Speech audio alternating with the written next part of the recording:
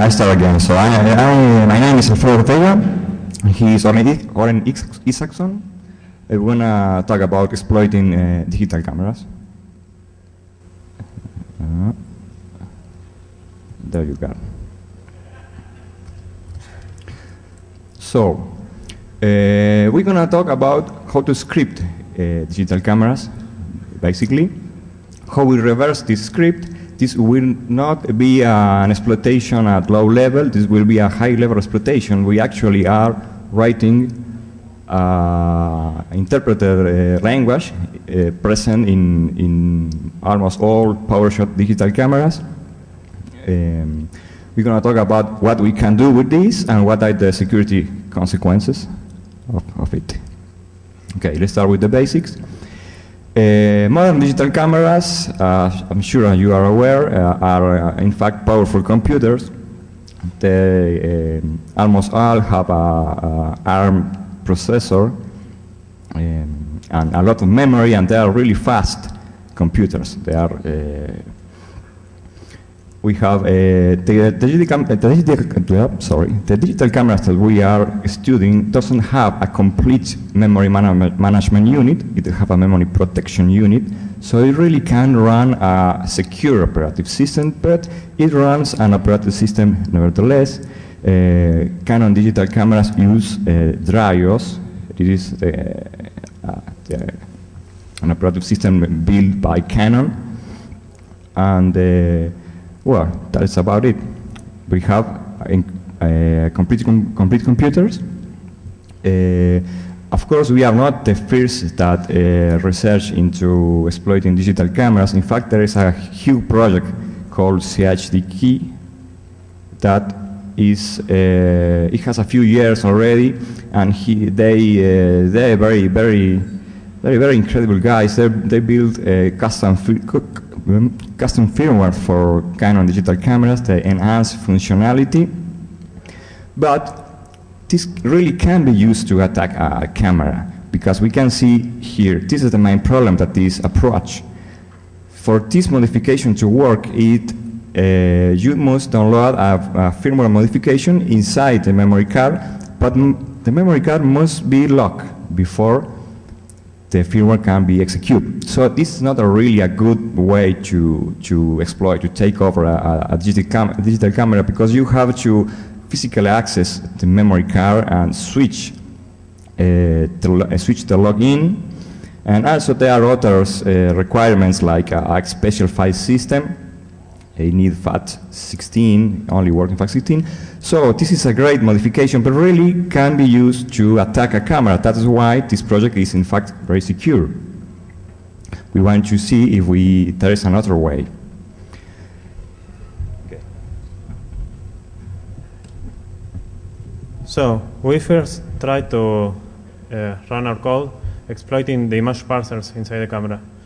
Uh, this way, um, if we could find a bug in the image parsers and write an exploit for it, we could take control of the camera as the user is trying to see an invalid message uh, image uh, in the camera's playback mode. Um, the ARM processor jumps to to the an exception handler when it tries to read or write an invalid memory address. So what we did is write a, an exception handler to try to find the bugs, find, find bugs uh, when fuzzing the, the parsers. Um, we did find some bugs, but before writing an exploit for them, uh, or trying to write an exploit, we found another way that is better. The bad thing about uh, writing an, an exploit for the image parsers are that this is binary and function offsets change from camera model to model. So it would be probably be very difficult to write an exploit that works in a lot of models. Um, we found this other method that is the interpreter and the script when we analyzed uh, when when we analyzed the firmware of one camera. Um, we used AIDA Pro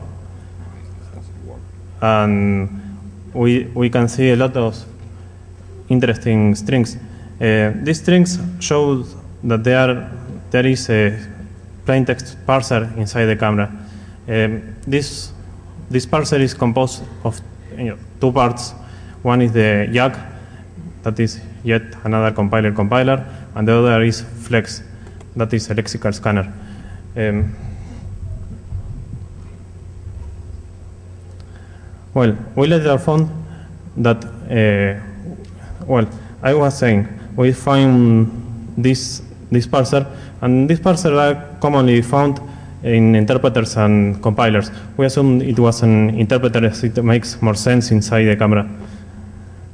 We later found we were not the first one to find, find this interpreter, but there is no public information on how to write a script for the cameras or, or any information on the syntax or uh, semantics of this language. And it is very difficult to just guess how to write an on a script for this language because any error causes the camera to simply shut down and there are no error message that say why the script is invalid. Okay. So we have we found a, a word language activated inside every camera. And so we have to reverse a complete language. So that is a little difficult. What uh, we, we have? We, we have how to execute the language. We have uh, what are the requirements that a memory card has to, to, have to have to, to execute a script. Um, they have a, a, little file when the script is placed and some tags inside the, inside the, the boot sector, but most importantly, it doesn't require anything more than that. It doesn't require the, the, the, the memory card to be locked. It doesn't require a special file system. So uh, if you have a, malware running in your computer and you insert a memory card, this malware can inject code in your camera because you don't only have to uh, remove the memory card, insert in your camera without doing anything else, and it will execute. So I say, well, that is very useful. Uh, but we need a reverse interpreter. It's not an instruction on an algorithm, but a complete language. Uh, so let's let's start from the beginning. What are the the structure of this interpreter? Well, it's a very standard interpreter. Uh, we have a, a, grammatical parser here, a, a, lexical parser is Lex and YAC. By the way, Lex uh, was built with uh, an idea of Donald Knuth, and uh, no, sorry, Lex was built by Eric Schmidt, CEO of Google, and Par and uh, YAC was built by Donald Knuth. It's, there are software, open source software that have more than 30 years uh, old, but they are like the standards of build interpreters. Basically, you have the script here, and uh, the tokenizer the Lex parser will start read character by character and produce tokens. These tokens can be while, print, uh, variables names. They are basically tokens for any language. They are uh, fed to the grammatical parser, and the grammatical parser can either uh, produce code, so you have a compiler, or uh, interpret or execute functions, execute a program, and you have an interpreter. That's all. In this case, of course, the camera inside has an interpreter, not a compiler. It will be very crazy. You have a compiler in your camera, but you have an interpreter.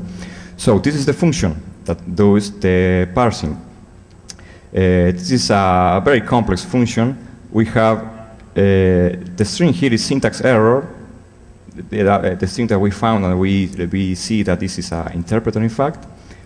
Here we have a call to the lexical analyzer and this little basic block here. Uh, so uh, we're going to start with uh, trying to do what tokens made our language. So we don't know we don't know even what language is or, or, the, or any of the rules. So this is a tokenizer. Uh, it's very complex, as you can see. Uh, and in fact, it's a huge case. This is a case statement, the one for each token. And uh, the tokenizer, in fact, is a, a table-based uh, regular expression. Basically, is a regular expression parser. That's why we really can't find the, the individual tokens in memory. The tokens are coded inside a huge table that uh, this table uh, um, is fed to a state machine, and the state machine recognizes tokens. So we, we couldn't find any tokens in the, looking at the firmware or looking at the memory. We have to reverse the, the regular expression parcel. Uh, here is a, a portion of the parser. The parser is open source, so we, we know that uh, we have the source code, but we don't have the tables. One idea that we have is to emulate this in a computer. Use, just pick up the table from memory and emulate. Uh, there is not a single table. There is a lot of tables in a, in a Lex parser. Uh, we, in this diagram, we, we look in the memory here. Uh, this is a table, in fact. We uh, implemented the table back to C code and just recompile a standard Lex parser and then brute force it. There is. So we're gonna do a demonstration. We're gonna run a demonstration of this of this brute forcing process here. This, of course, is running in in, uh, in, in my laptop because only we stole the stop. Sorry, we pick up the tables. Here is yeah, we are brute forcing every character. When you say success here is that a token was successfully parsed or accepted for, uh, for the tokenizer. So every number is a valid token because numbers are tokens too. Uh, now we're going to start uh, parsing the operators. So it accepts, this is our valid operator for this language. Uh, letters are also valid tokens because we can do variables. And we have here, we, we have a, a token that is a function. Function is a valid token too. So we have a function. We have if with several case, if uh, uh, uppercase, lowercase. We have uh, here sub, sub is another token. We are accepting every token of this language. So we run this for a while, and we have this. We have a lot of tokens uh, belong to this language. So maybe it's familiar to you, these are basic tokens. So this language is basic. Now we know that every camera have a basic interpreter inside, but uh, we don't have the grammatical structure. It can be mm, millions of variations of basics. So uh, for that, we should build an emulator. Now, Warren Winter. Well, as, as Alfredo was saying, uh, having the tokens was not enough. Um, as we, even if we tried some basic uh, scripts, very, sim very simple basic scripts, they appeared invalid. Uh, so we had to emulate the original firmware on an uh, emulator. We use QEMU that, is, that has the capability to emulate an ARM processor, but can't emulate the whole camera. So we couldn't use it to boot the original firmware and try to, to parse a script with it. Instead, what we did is uh, capture the state of the machine, of the camera, as it was parsing a script that is capture all the registers and all the memory and dump it to the memory card. Uh, and then take that information and resume the execution inside our emulator. To do this, to do this, uh, we couldn't just set a breakpoint inside the uh, interpreter and take control because uh, we are not sure that that's even possible. We had to use the, the exception handlers. What we did is force the script uh, uh, interpreter to raise an exception as it was beginning to parse a script. We can see from the source code of the Flex scanner uh, that it tries to access an array, uh, an array with a value that is inside a static variable. And we change that value, and then as it, the processor tries try to access that value, it, it crashed, and then we could dump all the state.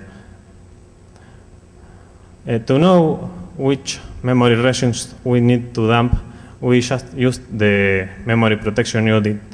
Inside the, this unit, there are a lot of there are registers that define the valid memory uh, memory regions, and we only need two regions: the main memory and the ROM. To control the execution of the emulator, we used uh, the integrate GDB server, uh, and also the integration of GDB with Python. This way, we could write a Python script and control the execution from it. This Python script can set breakpoints, modify, modify the registers, and control all aspects of the emulator. Well, we need uh, to make some changes to the to the original firmware because we couldn't allow uh, it to call the operating system because it it wouldn't work. It would try to access some hardware registers that were not, weren't emulated. Uh, so we uh, changed it, the read function so we could feed the emulator or script and we did in a way that it read one character at the time. And this way, when the interpreter found an error as it was parsing the script, uh, we could uh, find exactly at which point uh, the, the error was found. Well, this is the general way that we found out about the syntax. We tried a script and found out the, the location of the error, and then we changed it until no error was found. These are three scripts. The last one is valid, syntactically, syntactically valid, but it doesn't do anything. The second slide shows that if you try to to call a script a function, uh, well, sorry, Eh, eh, outside the, the body of another function, that's an error. You can only call function from the body of other function. So we, this way, we, we realized that there, wa- there must be one function that, that's the entry point. I'm going to show you now the emulator as it's running.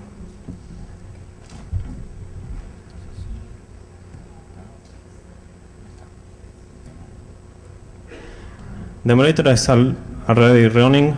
I'm just going to run the Python script.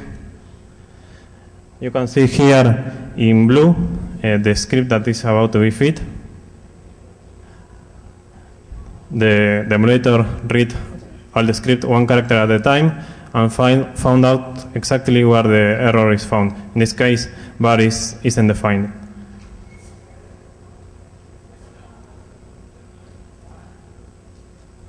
In this second demo, I'm going to show a valid script that has sent the entry point. So we arrived to a breakpoint that doesn't lead to code execution. This way, we later found about the entry point. This is the third demo that with the initialize function, that's the entry point. This script is totally valid, and we arrive to a breakpoint that, that shows that code is about to be executed. This is a complete valid script that prints hello world to the camera screen. You can see that there are a lot of predefined functions inside the camera. Uh, Alfredo is going to talk about, about it. Okay, uh, at this time we have uh, the grammatical structure of the language, we have the tokens, but uh, the language also have a lot of functions that we can call. In fact, this is wrong. There are 5,000 functions, sorry, 500, inside a common Canon camera, governing everything from the sensors, um, um, uh, mo- little motors, um, accelerometers, CCD, absolutely everything you can access from this language. And in fact, you can access the main memory of the kernel using poke and pick instructions because it's basic, like Commodore 64 Basic. Uh, we we uh, started to build a, a, a document and uh, a user guide of this language. Is here we are gonna put it online uh, after after this. Uh, we are documenting all the functions. Uh, we don't have all, of course, because there are 500, but we have some of them. there are very interesting things about this language. for example, there are functions you read about the kernel process memory here. You can see uh, this is the equivalent of the top Unix command inside a camera. So how many processes you think a camera can have? Well, it can have hundreds of, pro uh, sorry, about 70, 70 process, processes inside a Canon camera. All these processes governing from the buttons to the display, from the, for keeping the CCD warm. They are, it's a very complete operating system inside this, this camera. I'm going to publish this document in short so everybody can start building scripts. Uh, so, okay, well, we can do it with this language. Well, uh, because uh, it's difficult to do something with the camera, but some, you, you can do uh, some stuff, like we're going to show now. For example, you can, the old school that we showed at the beginning,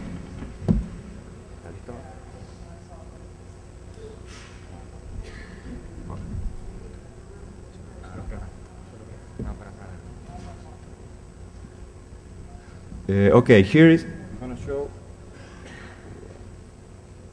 This is the little school that we showed at the beginning. This is not new, uh, but this is. We're to uh, show this script in a lot of cameras and it should work because it's basic. It's not uh, accessing any low-level uh, system.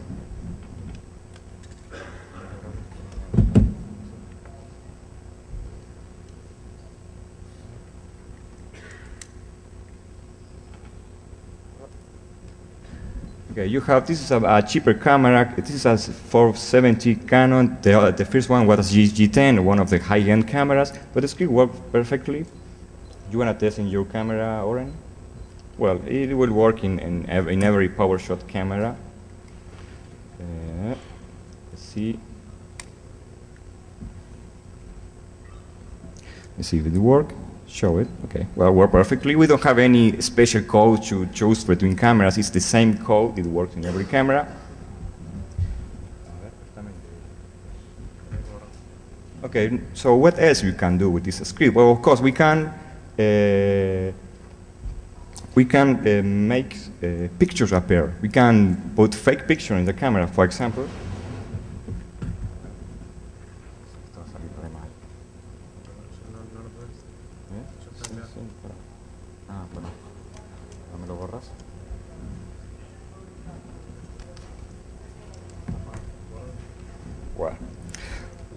Just a minute, please. Uh, I'm going to show a demonstration about where you can put any kind of image inside the camera. For example, uh, we're going to erase every picture inside this memory card. Okay, it's ready. So we're going to show that there is no picture in there. It's like a magic trick. There's no picture there, so we're gonna launch the exploit. Okay, launch it. There is exploit deploy, and then we will turn on the camera again. We know there is a picture of uh, General Perón there. Of course, this picture didn't exist before. But we put it there, or exploit just made a picture appear.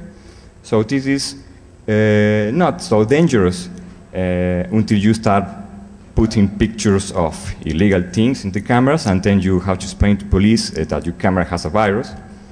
But we have a, a, a more serious exploit here. It's about maybe you have heard. This, is, this exploit is very new. It's, uh, it's the link exploit that was uh, made public just a week, weeks ago. I have a SD without the the files that uh, that ex exploit this bug, but there is a script for the camera that will launch this exploit.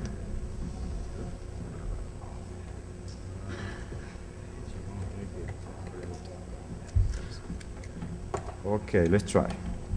We don't have space for, for the USBs here. First, we're gonna show the memory card.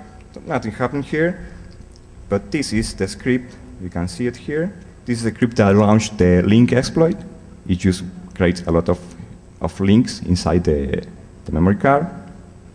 Uh, it doesn't have eject, so we're gonna eject it anyway. We're gonna run text exploit in any camera, in fact, can be anyone. We're gonna launch this one, this one the cheapest. Let's see if this works, because if it doesn't work, we have a video, so you can believe it.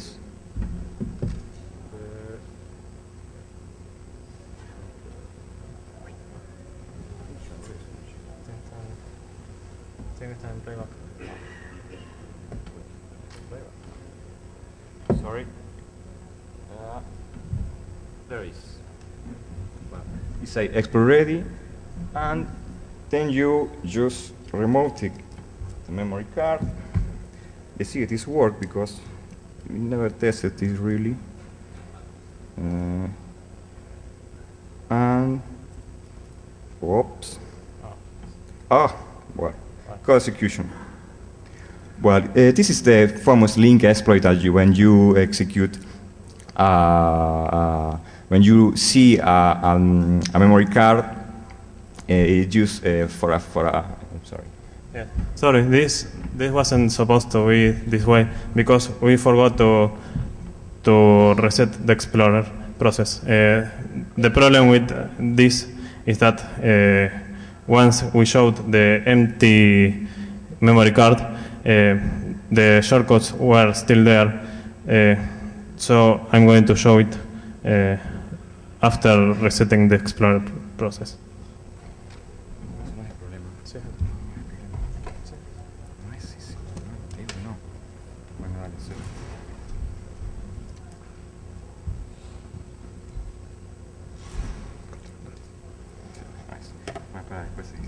Okay.